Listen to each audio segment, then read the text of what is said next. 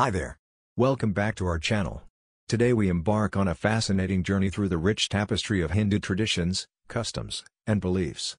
In this enlightening video, we'll tell you about 5 Hindu traditions and beliefs that are practiced.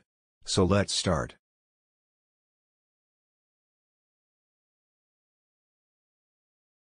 Do you know why the coconut is offered to God in almost every Hindu temple? Coconut is considered the most sattvic and pure form of the fruit one can offer to the god. Hindus believe that the ego is an obstacle that keeps people from reaching moksha. The coconut represents head or human mind where ego resides. The coconut is broken symbolizing the breaking of the ego. Apart from that coconut tree is such that none of its part goes waste. Every part of this tree, trunk, leaves, core, fruit is used to make things like medicines, soap, oil, fuel, mats and more. Also, despite growing on saline land, coconut still provides sweet water, showing its selflessness. The three eye-like marks on the coconut represent the three-eyed Lord Shiva.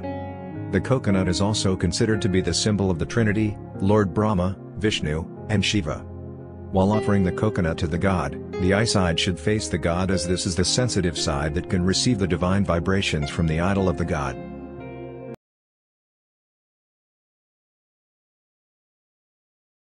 Ganesha is considered the lord of the earth, just as Vishnu is the lord of Vaikuntha, Vishnu's home, and Shiva is the lord of Mount Kailash. It is widely held that no human endeavor on earth would be successful without the blessings of Lord Ganesha. As a result, he is worshipped before embarking on every new initiative. There are two main reasons why Lord Ganesha is worshipped before starting any ritual. All human thoughts are articulated in Nod Bhasha, or the language of words, whereas gods, goddesses, and deities who live in the astral world speak Prakash Bhasha, or the language of light. Ganesha is said to convert human Nod Bhasha into divine Prakash Bhasha so that human thoughts might reach the gods. As a result, he is worshipped first. Ganesha rules over the ten directions. Without his permission, no divine power may descend on earth. As a result, Lord Ganesha is invoked to allow astral bodies to descend and bless mankind. We are sure there must be other reasons as well. If you know of any please let us know in the comment box.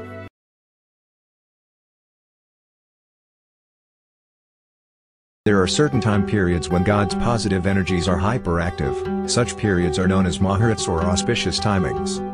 Hindus always check Muhurats while starting a new venture or marriage or any other auspicious occasion. One such noteworthy occasion is Akshaya Tritiya. In Sanskrit, the word Akshaya means imperishable or that which never diminishes. This day falls either in April or May when astrologically, the sun and the moon happen to be at the peak of their brightness, which occurs only once in a year. Nature's positive energies are hyperactive on this day. Many important events happened on this day. For example, sage Vedavyasa and Lord Ganesha began composing the vast epic Mahabharata, on this day. When the Pandavas were in exile, Lord Krishna gave them an Akshaya Patra on this day, a bowl that would never go empty and would create an infinite supply of food on demand. Lord Parshurama is also said to have been born on Akshaya Tritiya. Worshipping Lord Vishnu on this day eradicates and removes sins, and makes one free from all sorrows.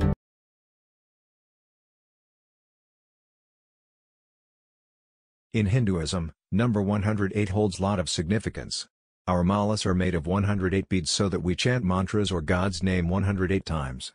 It is believed that the number 108 binds us to the universe, here are 10 reasons why the number is significant. According to Ayurveda, our body contains 108 essential points of life energy. There are 108 types of meditation.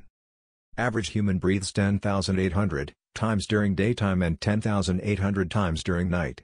100 multiplied with 108 equals 10,800. There are also 108 Upanishads in Hinduism. There are 54 letters in the Sanskrit. Each letter has both feminine or Shakti and masculine or Shiva, qualities. 54 multiplied by 2 equals 108. The diameter of the Sun is 108 times that of the Earth. The distance between the Sun and Earth is 108 times the Sun's diameter. The distance between the Earth and the Moon is 108 times the Moon's diameter. There are 12 astrological houses and 9 planets. 12 multiplied by 9 equals 108. It is believed that 1 represents God, 0 represents nothingness, and 8 represents infinity. Hinduism believes that the external universe should mirror our inner spirituality because we are one and the same. It is said that the number 108 units represent the distance between our physical form and the God residing within us.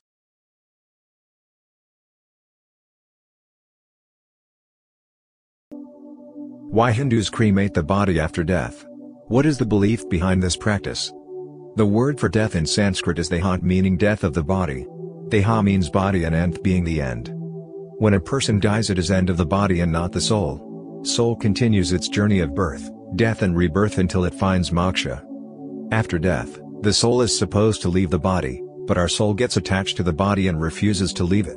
Hence, the body is burned so that no body is left and it becomes easy for the soul to detach itself from the body and proceed to its new journey. Burning the body is also an acknowledgement that the physical form is temporary and the soul is eternal. Further, to free the soul from all the ties to the body the ashes are scattered in a river or an ocean. The ritual of liberating the soul of the dead from its attachments serves as a reminder to those who are left behind to let go of their ties to the dead.